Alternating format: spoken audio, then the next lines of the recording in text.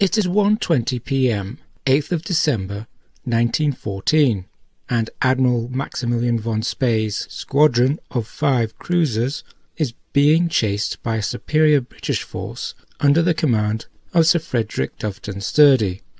Knowing he cannot outrun his adversary, von Spee has ordered the East Asian Squadron to split up. The armoured cruisers Scharnhorst and Gneisenau turn to engage Sturdee's battle cruisers, while the German light cruisers make their escape. However, the British cruisers HMS Cornwall, HMS Kent, and HMS Glasgow have other ideas.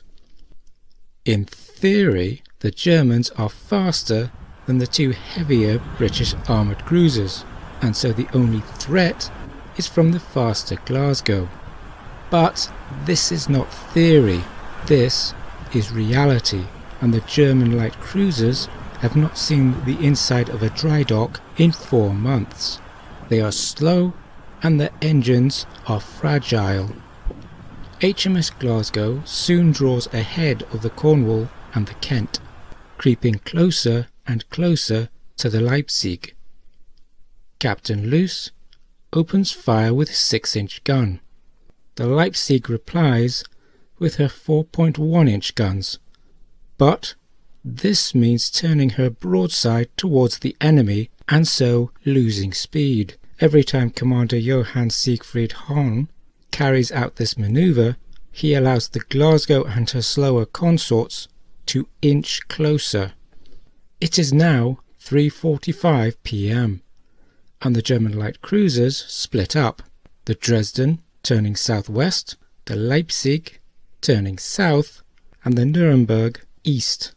Captain Luce of the Glasgow is the senior commanding officer of the trio of British cruisers, and he decides that Dresden has too great a lead to be caught. After all, the weather is turning, threatening visibility. He will instead chase the Leipzig with the Cornwall and the Kent will chase down the Nuremberg. HMS Kent has very little coal aboard, so little in fact that, as she chases the Nuremberg, her crew are resorting to feeding the boiler furnaces with wooden furniture, mess tables, gunnery targets, desks, lecterns, and even deck timbers. The distance between the German light cruiser and the heavier British armoured cruiser narrows. It is 5 pm, and the distance is 11,000 yards. The Germans open fire, and at 5.09 pm, the Kent replies with her 6-inch guns. They continue to exchange fire without much apparent effect, and with the weather turning decidedly drizzly, Captain John Allen and his crew are beginning to think the Nuremberg will certainly escape with the coming of night. Captain Karl von Schoenberg, who had thought an attack on the Falkland Islands to be such an excellent idea, may well have believed the same thing.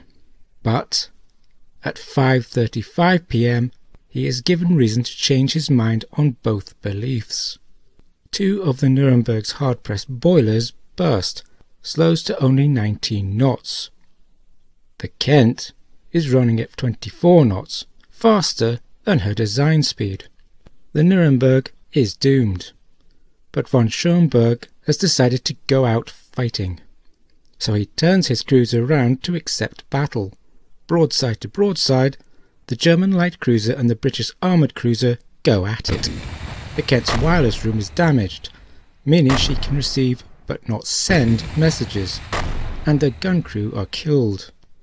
By 6.25 pm, the Nuremberg is a sitting duck and on fire. Her final shots are fired 10 minutes later, and Captain Allen of the Kent orders cease fire. The British can see the German colours are still flying, and so they wait. And then they wait a little more. The colours are still flying, so they fire.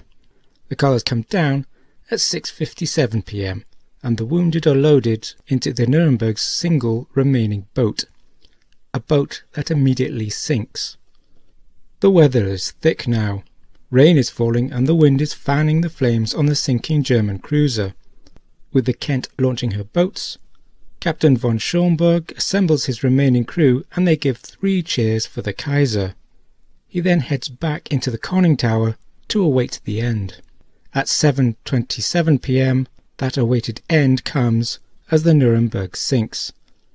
The sea is cold and rough, and for the next hour and a half, the British search the area for survivors. They find 12. It is an irony of war that the German cruiser which finished off HMS Monmouth at the Battle of Coronel should herself be finished off by the Monmouth's sister ship HMS Kent.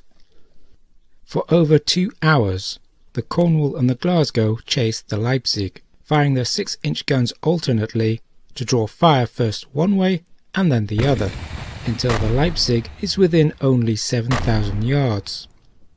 At 6 pm, the Cornwall changes over to high explosive shells, and the results are devastating to the little German light cruiser.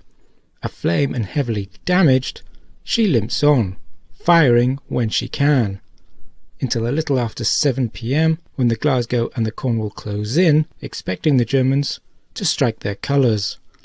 The colours are not struck. The colours are not struck because no one aboard can reach them. Commander Haun orders his men to scuttle the ship, and he assembles 150 of them on deck, ready to abandon ship. Unfortunately, the colours are still flying, and Captain Luce takes this to mean the Leipzig has not surrendered. The Glasgow and the Cornwall resume firing, and the 150 German seamen on deck are decimated. It is only when two green distress lights are seen that the British cruisers cease fire. It is 8.12 p.m. and the listing Leipzig is sinking.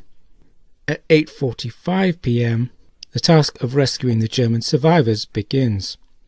Boats are lowered, and Commander Haun lights a cigarette and walks into the wrecked superstructure, never to be seen again. At 9.23 p.m., the Leipzig disappears under the icy cold South Atlantic. Only 18 men survive.